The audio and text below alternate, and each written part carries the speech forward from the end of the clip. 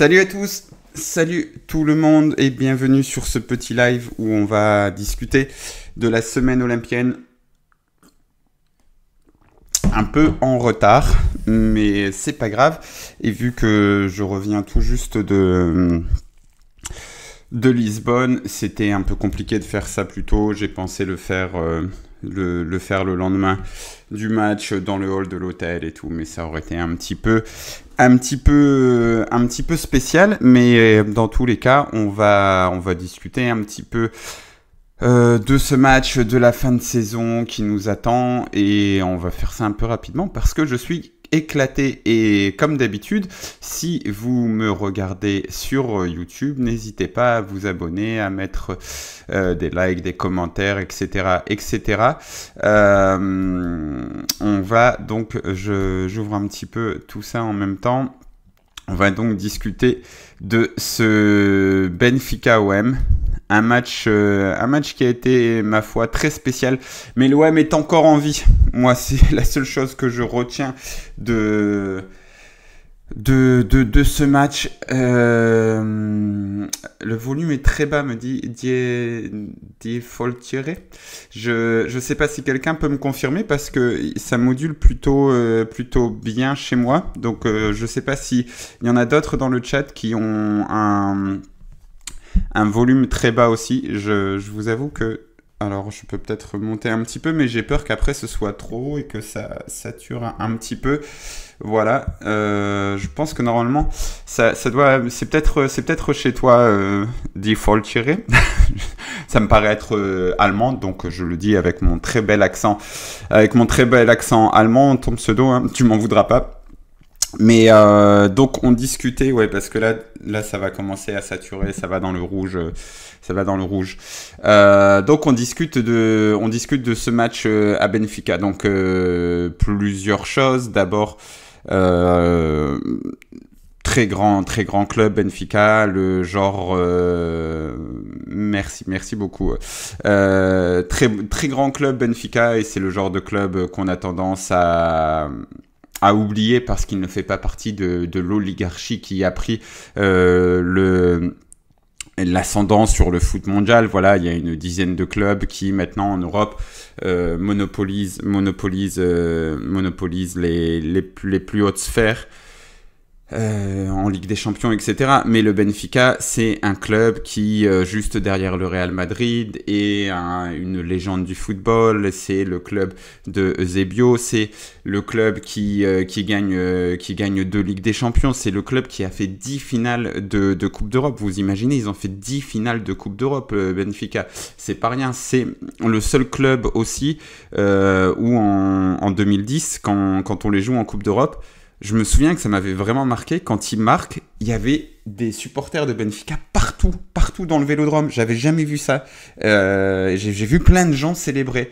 Et en fait, ce que généralement l'OM fait, euh, fait entre guillemets fait euh, aux autres clubs mais quand on quand sur Twitter on célèbre le fait que quand il y a un but à Lille et ben tout le stade un but pour l'OM euh, à Lille tout le stade célèbre tout le stade célèbre parce qu'il y a des supporters marseillais un peu partout. Bah Benfica ils font ça mais ils ont fait ça à Marseille. C'était c'était assez surprenant. Donc un très gros club. Et puis à la mi-temps il y a eu cet hommage à Sven Goran Eriksson et tout. Franchement c'était c'était c'était tu sentais vraiment un peu le respect de l'institution. Mais par contre, l'ambiance, c'était. C'était. Euh, limite effrayant tellement c'était calme vraiment euh, j'ai fait les commentaires euh, sur France Bleu Provence avec avec Bruno avec Bruno Blanza et vraiment à un moment je lui dit waouh j'ai limite peur de parler trop fort c'est calme c'est la tribune devant nous était pleine en plus on était tout en haut et personne ne parle personne ne parle et tout, personne ne chante rien. Il y a eu un, y a une embrouille dans leur dans leur cop à eux un petit peu, je pense, parce que à un moment il y a eu une sorte de bagarre, puis les gens sont partis machin. Mais toi t'es là et tu dis mais euh, ok, je vais peut-être pas parler trop fort, je vais peut-être le déranger lui. Les gens viennent, euh, ils viennent une fois toutes les 10 minutes, ils applaudissent, il y a un petit chant, un petit truc, mais sinon ils viennent pour regarder le match. Et euh, c'était, euh, c'était limite perturbant. C'était limite perturbant. Je vais vous mettre un petit article que j'ai écrit euh, sur FCM à propos de, bah, du fait de jouer un quart de finale de Coupe d'Europe et que ce n'est que ce n'est pas rien, que c'est quelque chose qu'il faut qu'il faut célébrer aussi quand même quand on quand, quand, quand on est l'OM, quand on est un club français parce que, parce que pour beaucoup de clubs français, aller en quart de finale d'Europa League, ça s'appellerait une épopée, mais, mais pour l'OM, ça s'appelle, bah, ça s'appelle pas, puisqu'on on est toujours en crise, donc donc voilà, comment je peux vous mettre ça dans le chat? Je vais le mettre euh, de là et je vais le mettre là, voilà. Donc je vous mets mon article euh, que j'ai écrit et les supporters marseillais ont été très bruyants aussi. En effet, des folles tirées, c'était euh, on n'entendait que eux, on va pas se mentir, on va pas se mentir, on n'entendait que eux, mais mais oui, ils ont ils ont fait ils ont fait leur boulot, ils ont ils ont mis l'ambiance, mais est-ce que c'est une surprise? Non, c'est pas, pas une surprise. On sait que généralement, euh, ça, ils, mettent une grosse ambiance. Et puis, euh, en plus de ça, l'arrivée au stade s'est bien passée. Il n'y a pas eu de débordement. Il n'y a pas eu de débordement avant. Il n'y a pas eu de débordement après. La seule chose qui a failli causer des débordements, c'est un mec dans les Bouches-du-Rhône, le préfet des Bouches-du-Rhône, qui a euh, rendu une situation qui était sous contrôle presque incontrôlable. Donc euh, bah, bravo à lui, mais malheureusement ça n'a pas fonctionné, malheureusement pour lui. Hein, et finalement tout, s'est bien passé. Et on espère que tout va bien se passer aussi euh, jeudi prochain avec les supporters du Benfica. Euh, forcément, été un petit peu euh, enfin, j'ai croisé pas mal de supporters, euh, pas mal de supporters marseillais à, à, Lisbonne. Il y en a un dans mon hôtel. Pour rien vous cacher, mercredi soir, je rentre et je vois un mec dans le couloir, la tête en sang, et, et un mec avec un maillot de l'OM au-dessus il était là pour l'aider et le mec qui était par terre la tête en sang c'était un anglais qui avait rien à voir avec l'OM et en fait le supporter de l'OM était l'aider en fait ils, étaient sortis euh, ils étaient sortis ils avaient un petit peu bu et euh, l'anglais est rentré et tombé et s'est fracassé la tête. Ça a fait peur mais si j'en rigole c'est que le lendemain il était là au petit déj et qu'on en a tous discuté ensemble.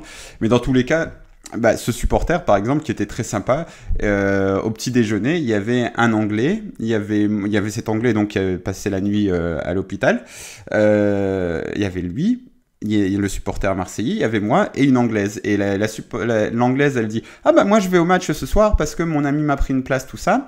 Euh, l'anglais il dit ah bah moi aussi je suis venu j'ai pris une place euh, sur euh, sur un sur le bon coin le truc un truc un truc de d'occasion portugais. Donc moi je vais au match. Et lui il dit putain mais je suis le seul mec qui va pas aller au match. Et, et il avait dépensé 450 euros en billets d'avion pour venir. Il avait dépensé l'avion il avait dépensé l'hôtel il avait dépensé la bouffe. Il avait dépensé le ticket aussi et, le gars, c'était euh, c'était celui qui avait le plus envie de voir le match et c'était pratiquement celui qui était euh, qui, avait le moins de chances de voir le match euh, à, à, 10 heures le jeudi. C'était incroyable cette situation. Franchement, c'était c'était c'était incroyable et et donc j'étais très content de voir que finalement finalement tout ça est rentré dans l'ordre. Euh, voilà. Bon, voilà. Il y a eu aussi euh, donc les supporters marseillais étaient étaient euh, étaient place du commerce, se retrouvaient place du commerce et il y a eu une visite express de de de, de Pablo Longoria, Pablo Longoria, Stéphane Tessier, Basile Boli, Fabrizio Ravanelli et ils sont descendus voir les supporters, voir les, les leaders un peu des groupes de supporters et c'était un petit peu c'était un petit peu enfin j'essayais de filmer, on me dit oh on m'a gueulé dessus et tout, c'était vraiment genre wow, ça va doucement, c'est bon, c'est pas grave. Et euh, bref, donc il y avait, il y a eu un peu la paix des braves, mais la paix des braves n'a pas été euh, n'a pas été retransmise, elle n'avait pas le droit d'être retransmise, donc euh, donc voilà, il y a une photo dans la Provence, j'ai vu, et on m'a dit non, non, mais il y a eu des photos dans la Provence. il y a eu des photos, je, vois la scène parce que j'ai vu mes collègues journalistes qui étaient de l'autre côté, à qui on a aussi fait comprendre, ah, on a gueulé, et c'est des photos un petit peu, un petit peu euh, à la dérobée, on va dire. Bref, les supporters marseillais étaient là, et tant mieux, et l'OM, euh, bah, l'OM était là, et j'ai envie de dire, et pas tant mieux, parce que ça, c'était un peu, un peu un peu plus dur euh, pour, euh, pour l'OM. Alors, je vais peut-être ouvrir un truc genre ici. Voilà, je vais mettre Benfica OM, comme ça on va voir les stats. voilà. Donc l'OM a bien sûr perdu ce match. Je dis bien sûr parce que maintenant c'est le concept à l'OM, on perd les matchs. Donc 2 buts à 1. un match très bizarre, un de plus cette saison. C'est une saison bizarre. Euh, la une première période où il y avait très peu de tirs, je me souviens au bout d'une demi-heure ou un truc comme ça, Benfica mène 2-1 et il me semble que l'OM a tiré deux fois, Benfica une fois. Euh, un, match aussi où, euh, où en fait c'était en fait c'était un peu un match un, match à l'arrache quoi. Il fallait qu'il y ait un truc qui se passe un moment il fallait qu'il y ait... Euh, il y avait des organisations mises en place, etc. Mais, euh, mais l'OM était, très scolaire, euh, donc incapable de tirer au but. Aminarit, en effet, en plus il était en forme, Aminarit, et il a fait des tas de différences il fait des tas de différences et après, et après il, mange le ballon tout seul. Tu comprends pas pourquoi, au lieu de faire une passe, au lieu de faire un truc. derrière le derrière son derrière ses dribbles à Minarit c'est très très très très très très très très très très très très très dur et surtout quand on en a quand on en a besoin et quand il est dans un bon jour on se dit merde putain on pourrait faire tellement mieux avec toi Amine mais non mais non donc donc voilà, ça, Aminarit n'était pas en forme, euh, on ne trouvait pas Mumbanya, on avait peur de centrer, on avait peur de prendre des, initiatives individuelles, à part Aminarit qui en prenait pour toute l'équipe. Donc il y avait un vrai déséquilibre. Et Benfica en face, ils étaient pas dangereux. Benfica, le gros truc de Benfica, c'était euh, Rafa Silva, ça devait être celui-ci là, le numéro 27, en fait qui allait beaucoup du côté euh, de Di Maria et et à chaque fois qu'il euh, décrochait, euh, nous, on avait un défenseur. Un, défenseur qui allait être euh, une fois Balerdi, une fois Gigot, qui allait, sortir sur lui. Et à chaque fois, à chaque fois, le défenseur se faisait éliminer. Je je comprenais pas. Je comprenais pas. sur sur l'ouverture du score, c'est Balerdi qui sort sur Rafa Silva, qui est un joueur qui est techniquement est très à l'aise et, et, très propre qui fait, qui, qui fait juste, euh, en fait, qui, il fait juste les gestes dont il a besoin. Il n'en fait pas plus n'est-ce pas, Minarit?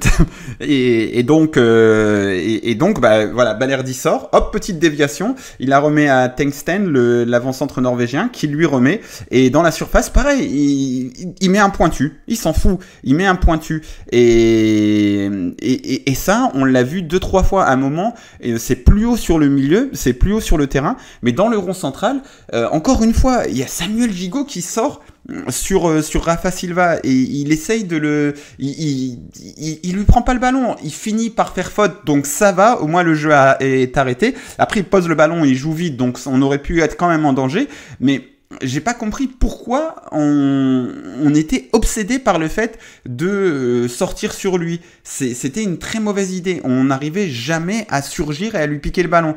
Pareil, Kondoglia l'a fait aussi une ou deux fois. Balerdi l'a fait une ou deux fois. Gigot l'a fait une ou deux fois. Et on a toujours perdu, euh, on a toujours perdu ces duels. Donc, euh, c'était euh, c'était compliqué. Euh, Benfica n'était pas très bon. Benfica se reposait beaucoup donc sur le jeu en déviation, euh, en une touche de balle, comme dit Franck 76.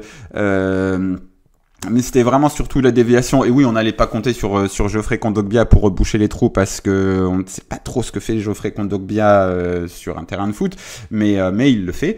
Et donc voilà, Benfica pas très bon. L'OM euh, ultra scolaire, incapable de prendre des initiatives, à part un mec dans l'équipe qui s'appelle Aminarit et qui prenait des initiatives pour toute l'équipe, donc euh, c'était contre-productif.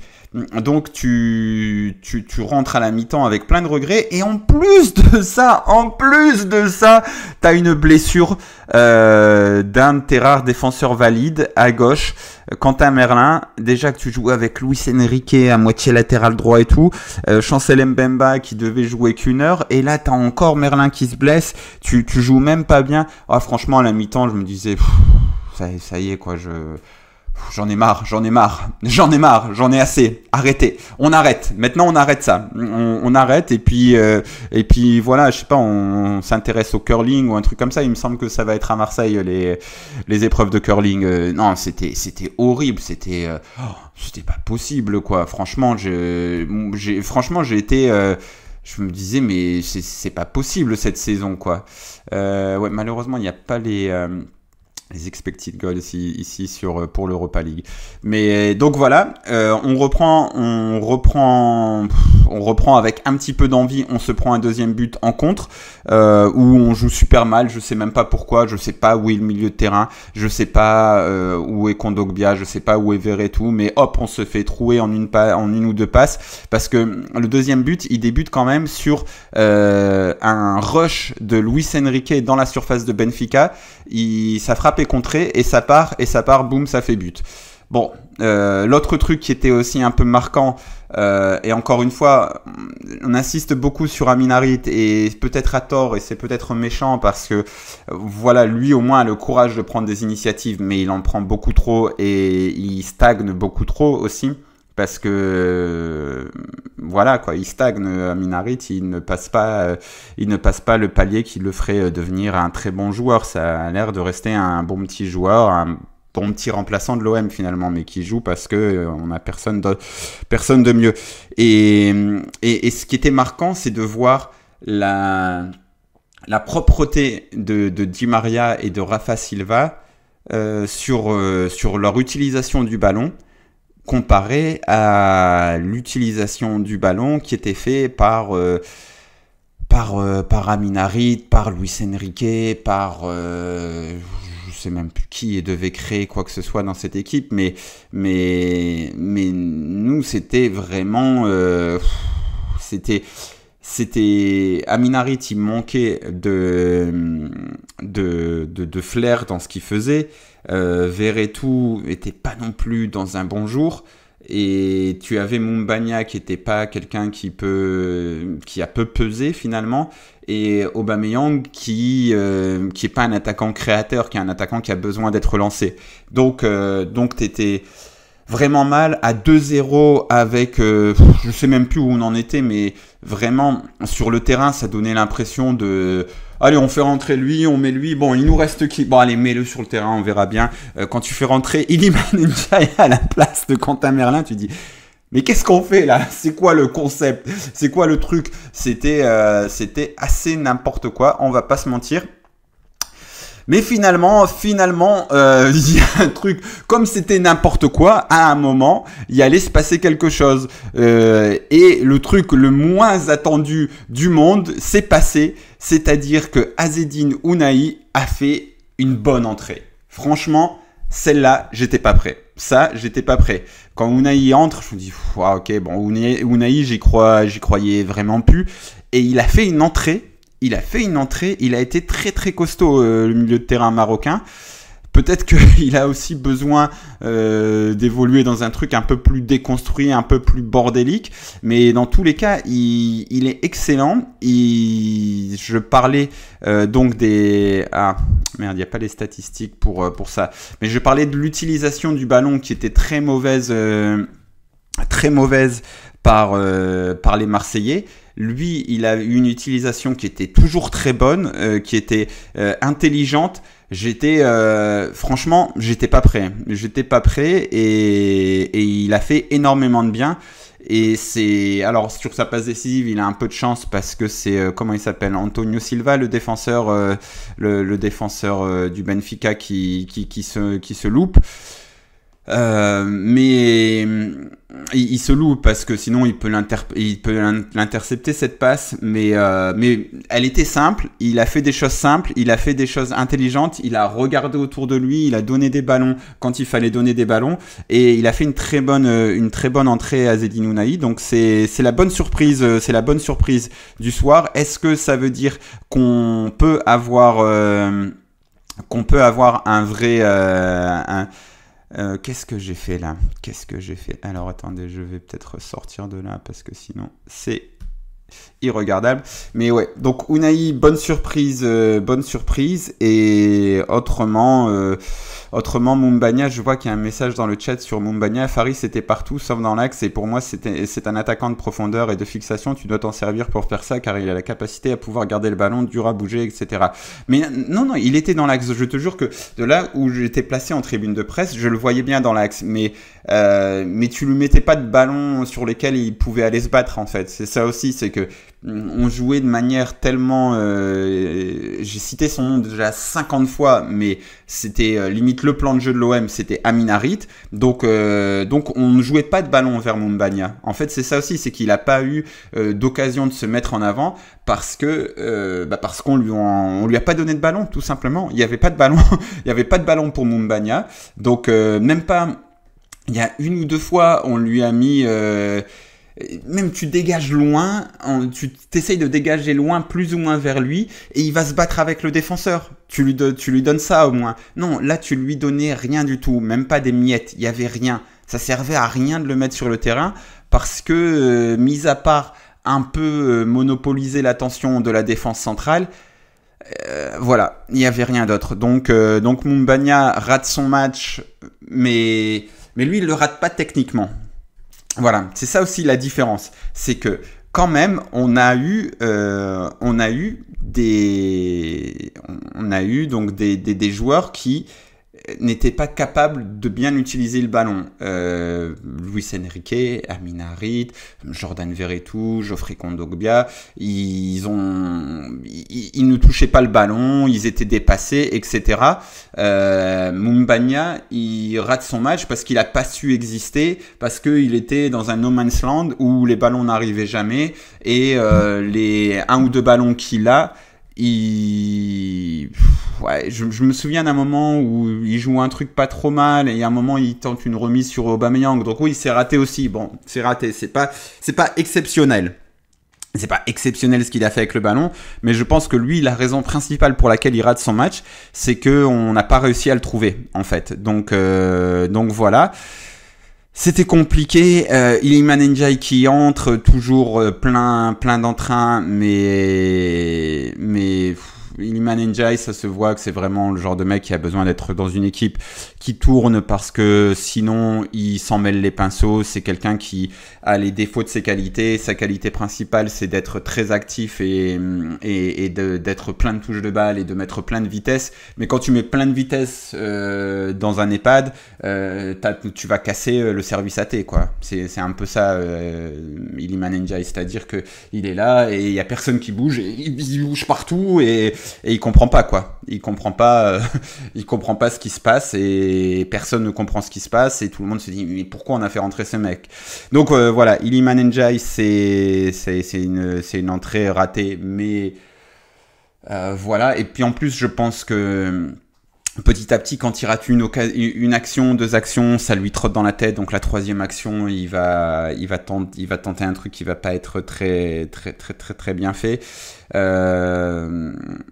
Euh, doit être titulaire à la place d'Enrique, non?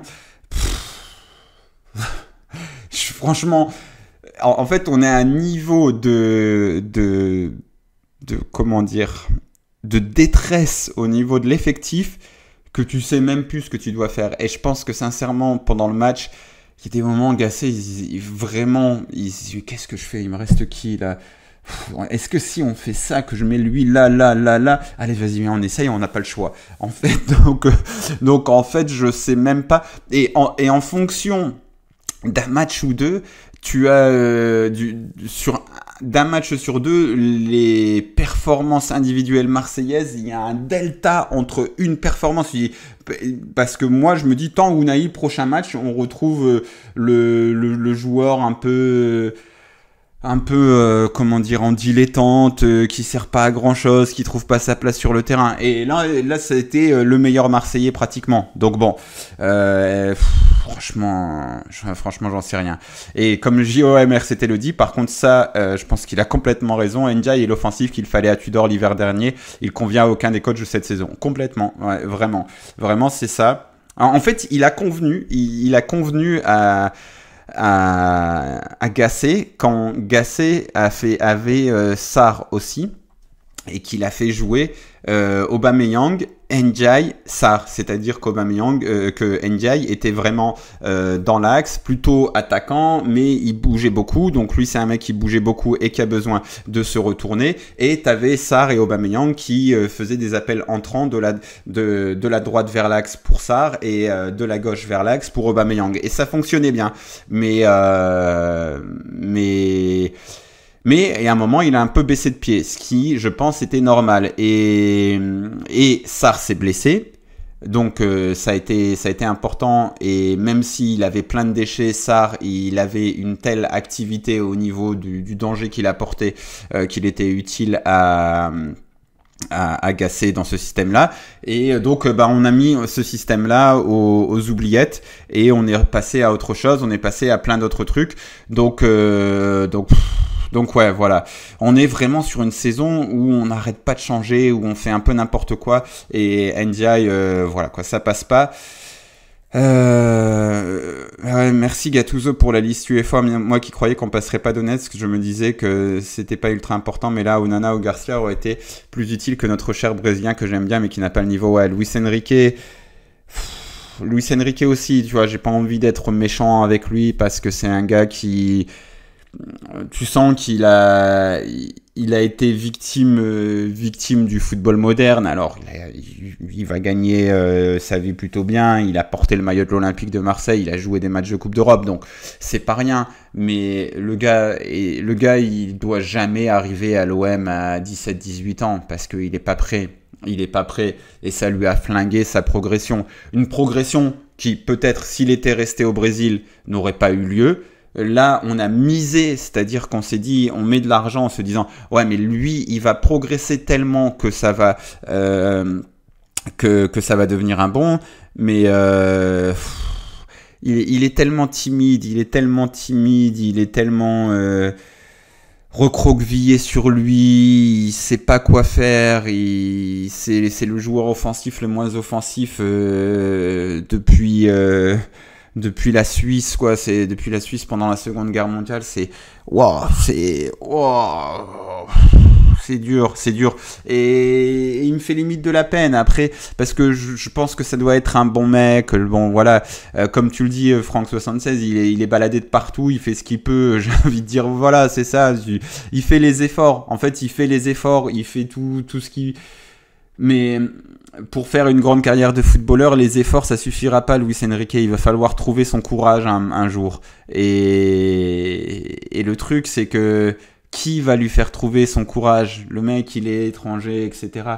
Il, il, a vraiment besoin de trouver un moment un mentor qui va, euh, qui, qui, qui va trouver derrière les montagnes de doutes qui doivent exister à l'intérieur de Luis Enrique, qui va trouver son courage et qui va lui dire Allez, prends-le, fais-le. Et déjà, il, va l'aider à mettre son courage en avant en le mettant dans une position qui va lui servir, en lui donnant de la continuité, en, en tentant quelque chose.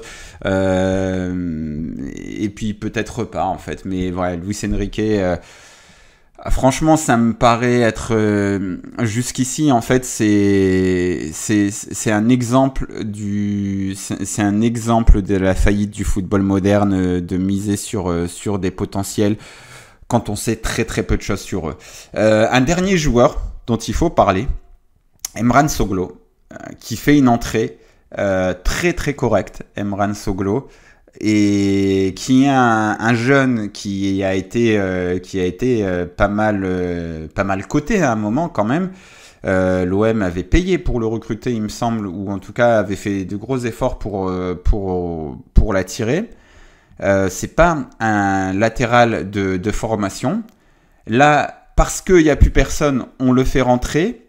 On le fait rentrer et il fait une bonne entrée parce que j'avais fait une vidéo d'ailleurs à ce sujet sur euh, sur sur les la première réussite de Marcelino à l'OM.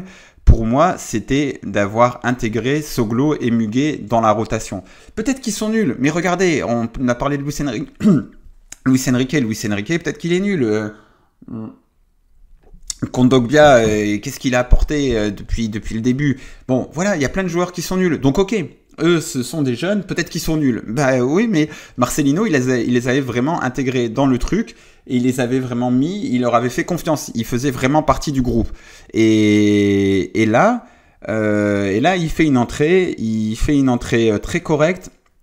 Il avait fort à faire parce que vraiment, euh, vraiment, et vu du stade, à chaque fois que Di Maria ait touché le ballon, euh, je faisais un peu des claquettes avec les fesses parce que parce que le gars, il est euh, tu sens qu'il peut trouver une passe, il peut trouver un truc. Vraiment, techniquement, il y avait, euh, il y avait un monde entre, entre Di Maria et tous les autres sur le terrain. Et ça se sentait, euh, ça se sentait vraiment, même, euh, même Payet dans un très grand jour ne m'a pas fait cette impression-là, en fait. Euh, bon, après, en fait, Di Maria, je l'avais déjà vu avec le PSG, mais le PSG, il y en a partout, tu fais pas attention. Mais là, dans un dans un roster de joueurs qui est qui est moins qui est moins impressionnant tu te dis vraiment ah ouais lui lui euh, chaque en fait chaque passe et, surtout dans un match où il y a tellement d'imprécisions techniques où euh, ils savent pas enchaîner trois passes et que d'un seul coup lui il a le ballon il voit une passe il fait une passe simple mais parfaite dans le bon tempo sur le bon pied de son attaquant tu dis ah ah c'est un peu embêtant. Donc Soglo entre pour euh, pour aussi marquer Di Maria et Di Maria on le voit moins d'un seul coup. Euh, c'est pas facile. Il, s'arrache deux trois fois le, petit Soglo il s'arrache il le, il le laisse pas passer et, et en plus il a du jus pour les contre-attaques tout ça. Il a un peu envie. Moi j'aimerais bien j'aimerais bien le revoir. Après voilà, c'est toujours aussi le bémol à mettre parce que euh, parce que parce que parce que le truc c'est que je me dis ouais c'était bien Marcelino il avait mis il avait mis il avait intégré les jeunes dans la rotation etc mais Marcelino il partait sur euh, sur un projet sur l'année. Donc il s'est dit ok eux je les mets dès le début dans le groupe et ils vont progresser avec moi. Après euh, est-ce que Gattuso ou Gasset ils se disent ouais mais est-ce que faire est-ce que si Gattuso ou Gasset dans leur situation où le club est en crise où c'est le bordel où c'est n'importe quoi ils mettent des jeunes est-ce que c'est pas euh, c'est pas euh, c'est pas les desservir en fait? C'est pas les mettre dans des situations désastreuses où déjà tout le monde est ultra critiqué et toi en plus de ça tu vas mettre un jeune qui va qui va entrer dans une situation désastreuse et tu vas en plus euh, lui, lui faire, lui faire plus de mal à sa carrière qu'autre chose finalement. Je pense qu'il y a un petit peu ça aussi mais dans tous les cas, j'espère que ça va relancer un peu la fin de saison d'Emran Soglo qui va faire des entrées et qui va, euh, qui va pouvoir jouer. Euh, TPR76, euh, salut d'ailleurs, qui dit On peut dire que le staff ne gère pas très bien les joueurs et ne les entraîne pas correctement. L'accompagnement formateur n'est pas à la hauteur du club car de jeunes joueurs progressent ailleurs. À l'OM, j'ai l'impression que le suivo est plutôt laxiste. Euh, en fait, c'est une bonne question, mais tu vois, en fait, je pense qu'il faut on a tendance à l'OM à trouver un, coupable idéal. C'est-à-dire que là, par exemple, euh, bah on pourrait dire ah mais c'est de la faute à c'est de la faute à, à etc. Il entraîne mal les jeunes et il fait pas le truc. Euh, et, et, je pense pas que ce soit vrai, tu vois. Je pense que, par exemple, un mec comme Pancho, qui a été avec la N3 et tout, il, les kiffe, les jeunes. Et, Pancho, il a vraiment l'oreille de Gassé et de Printemps. Il s'appuie beaucoup sur lui. Donc, c'est pas, c'est pas le truc. Par contre, le fait d'avoir tout le temps un contexte euh, de feu, de bordel, de oh si t'as perdu on te coupe la tête.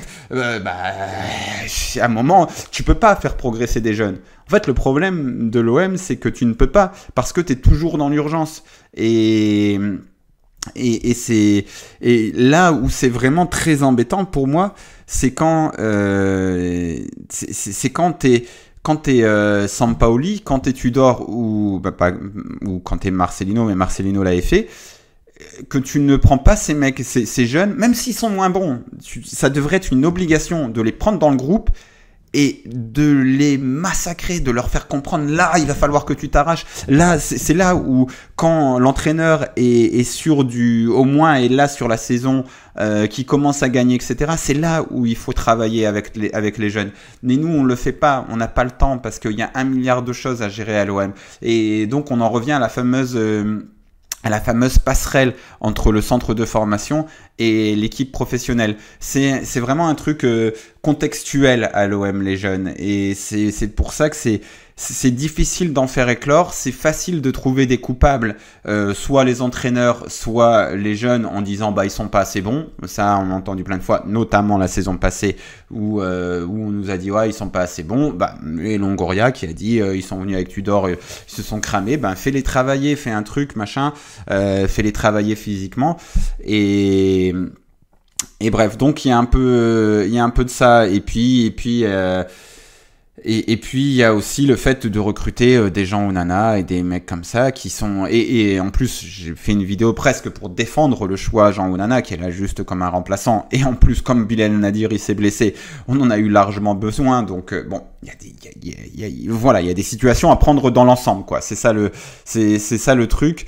Euh, mais s'il ne progresse pas à l'OM, c'est c'est pas que le suivi est laxiste comme tu le dis, c'est que le suivi est, irrégulier parce que il est tout le temps, parce que on est tout le temps dans l'urgence, donc on n'a même pas le temps de les suivre. En fait, c'est ça.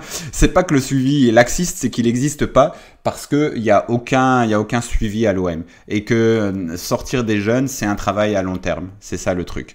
Donc, euh, donc content que Soglo, euh, que Soglo puisse apparaître, en espérant le voir, le voir revenir le voir revenir pour, euh, pour ce match retour, ce match retour où quand même l'Olympique de Marseille va exister les gars. C'est un truc... Euh, L'OM va jouer un, quart de finale, un quart de finale, euh, un quart de finale de, Coupe d'Europe retour dans son stade Vélodrome, en espérant qu'il y, ait des retours, parce que parce que le gros problème aussi c'est c'est ça, quoi. C'est tous ces blessés en espérant que Chancel Mbemba soit mieux. Donc, Quentin Merlin, ça risque d'être compliqué pour le voir euh, revenir, mais pas pour euh, toute la fin de saison. Il, il devrait être absent euh, quelques semaines, on espère.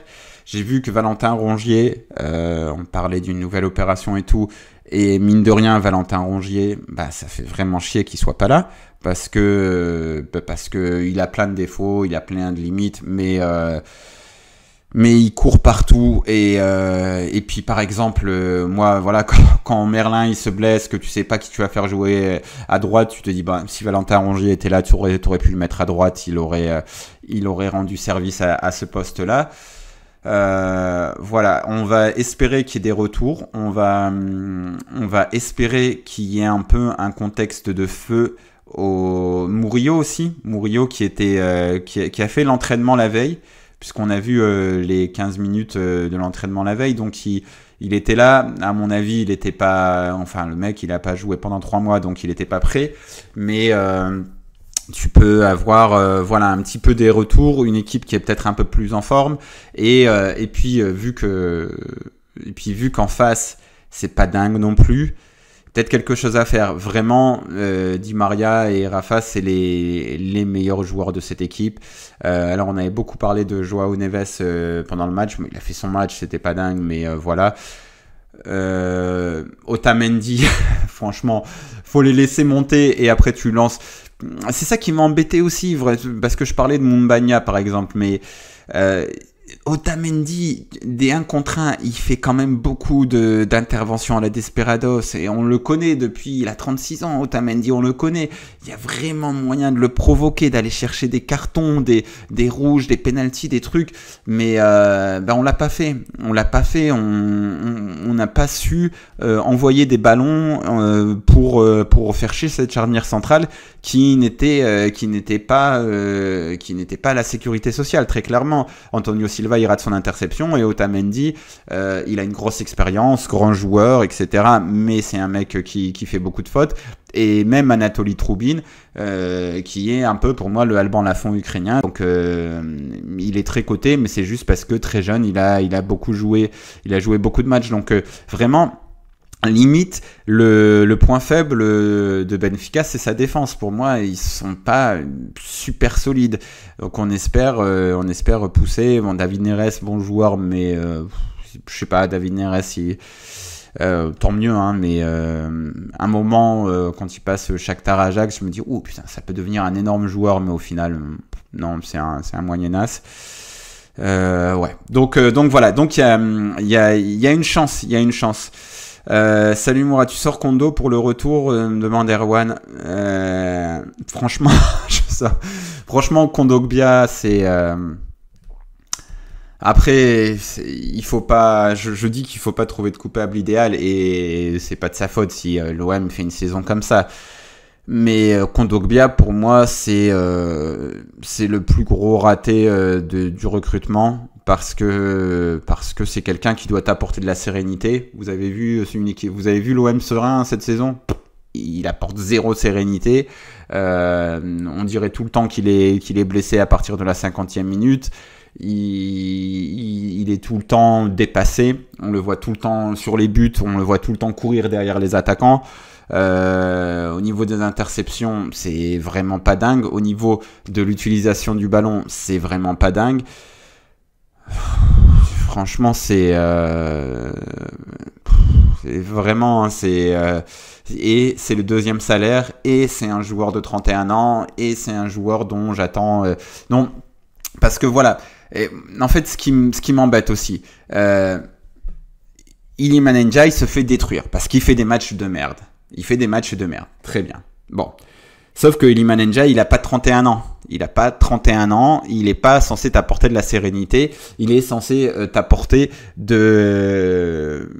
déséquilibre, du danger par moment. Et en plus de ça, Iliman Ndiaye a fait 4-5 euh, très bons matchs cette saison. C'est très peu, très peu. On se, s'en satisfait pas, hein, parce que je sais que il faut tout le temps, on s'en satisfait pas. Mais voilà. Euh, Kondogbia, il n'a pas fait 4-5 matchs de très haut niveau à l'OM cette saison. Non, non. Et, dès que et dès qu'il fait pas d'erreur, dès que l'OM gagne et qu'il a fait son quota de passes latérales et, euh, et de ballons récupérés après les avoir perdus, on dit il, a 6, 7 et tout le monde se dit bah c'est pas mal Kondogbia finalement. Je, je trouve qu'il y a vraiment un côté euh, il y a un côté très énervant chez, chez Kondogbia. Donc euh, pour moi, Kondogbia, c'est euh, c'est la et, et, je comprends pourquoi tu vas miser sur lui. Tu vas miser sur un, tu vas prendre un taulier, tu vas prendre quelqu'un qui doit te faire passer un palier au milieu de terrain. Il te fait passer rien du tout. Il te fait passer rien du tout. Kondogbia, il... jamais de sérénité, t'es jamais plus solide, t'es jamais plus costaud défensivement et t'es jamais meilleur euh, meilleur offensivement. Euh, évidemment qui dit il a été intéressant avec ce gauche, peut-être une piste à suivre. En effet, je pense qu'il a plus le, il a plus du tout le, le, coffre pour jouer, euh, pour jouer au milieu de terrain. Et je me suis dit aussi peut-être, écoute, euh, peut-être que, et, vu qu'on a que des blessés partout et que tout le monde est tout le temps blessé, euh, tu te dis bon, euh, pourquoi pas jouer euh, pourquoi pas jouer en défenseur central mais après euh, si tu as des ballons dans le dos de Kondogbia c'est pas c'est pas Usain Bolt notre ami notre ami Kondogbia hein. donc ça peut aussi être compliqué mais peut-être qu'en effet c'est un peu à la manière d'un Witzel à l'Atlético Madrid c'est peut-être c'est peut-être par là et peut-être que par là il va enfin nous montrer le métier qu'il a et ce qu'il peut faire euh, Balerdi, défenseur central, fait un meilleur taf au milieu que le milieu défensif de métier, c'est inquiétant. Euh, ouais, après Balerdi, gros, euh, gros respect pour ce qu'il essaye d'impulser dans cette équipe qui, qui, est, qui est morte, quoi. Qui, il n'y a plus rien dans ces... En fait, non, qui est pas morte parce que justement, il y a encore une chance euh, de vivre un truc exceptionnel.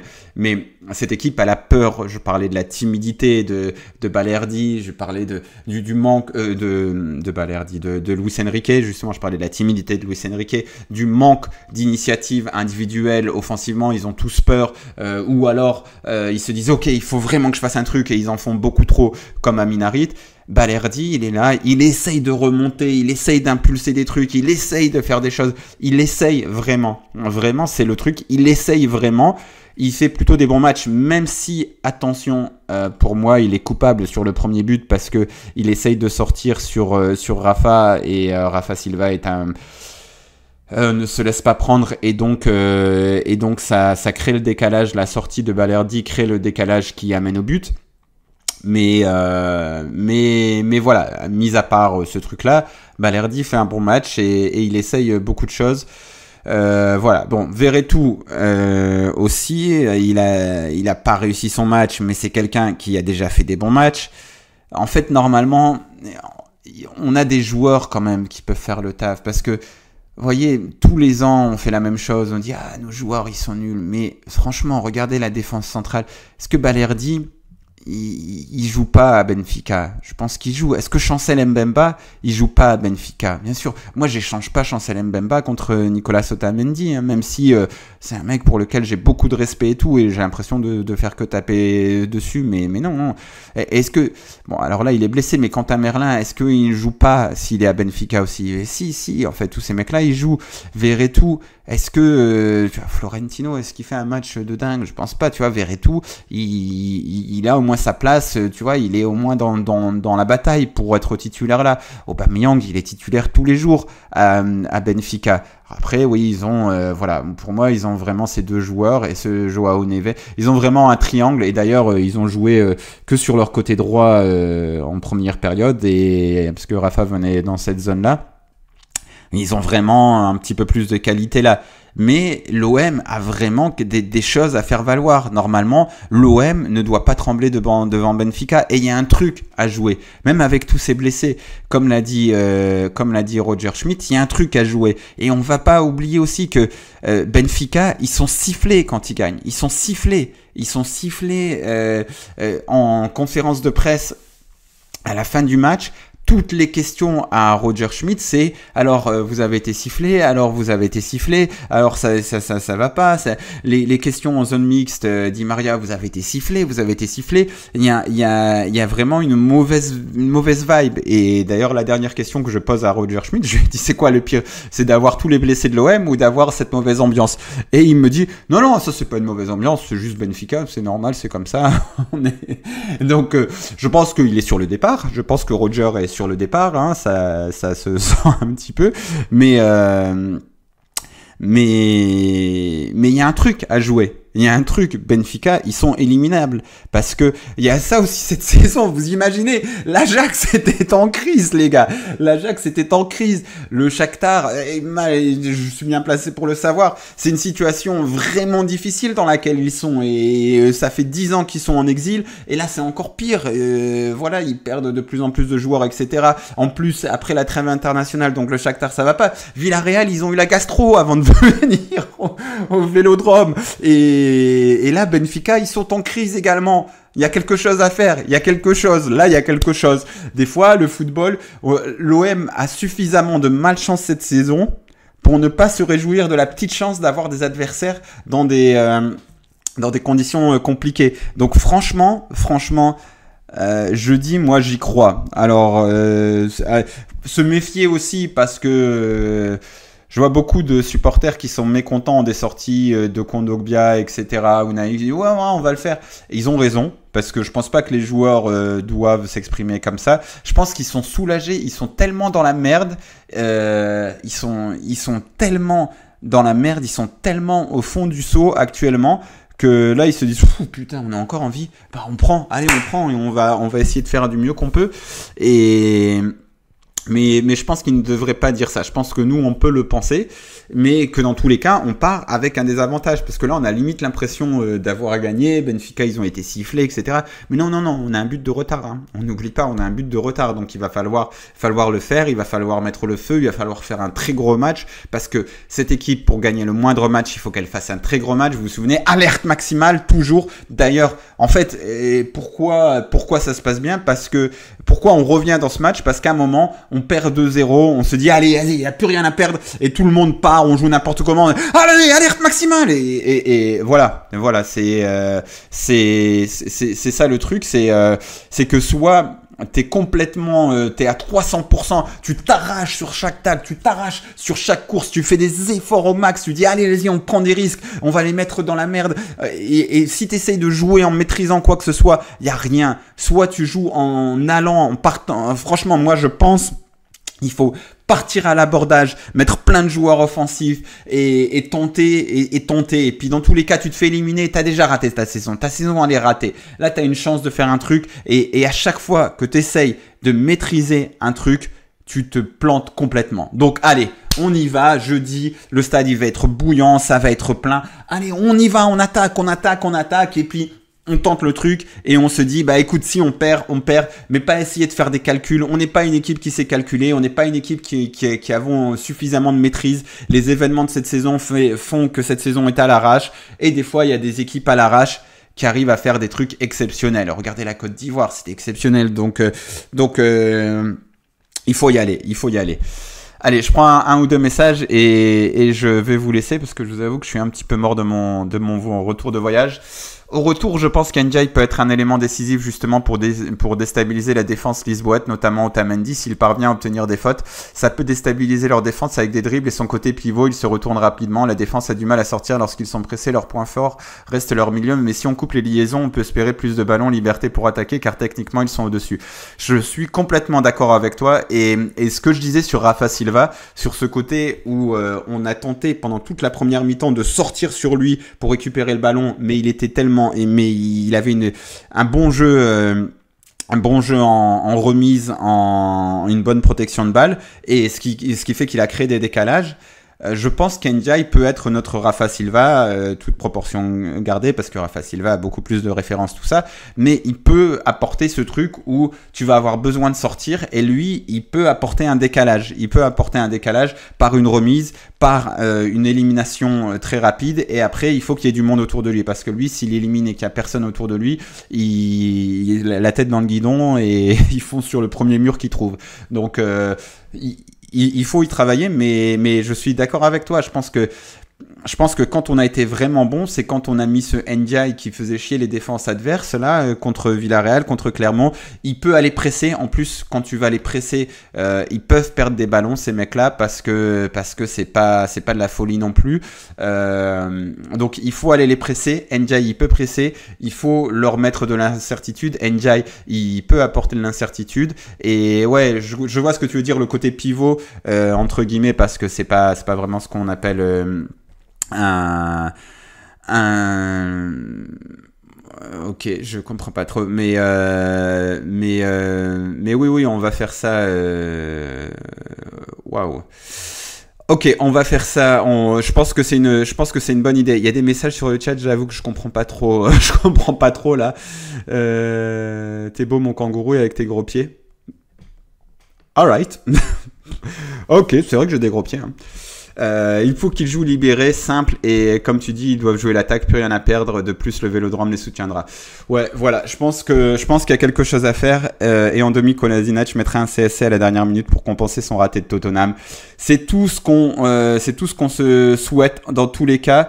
Bon, je je vais m'arrêter là, et puis et puis je vous dis, je vous dis, dans tous les cas, je vais peut-être aller ban ces mecs là parce que je suis pas sûr que je suis pas sûr qu'il parle qu'il parle de l'OM.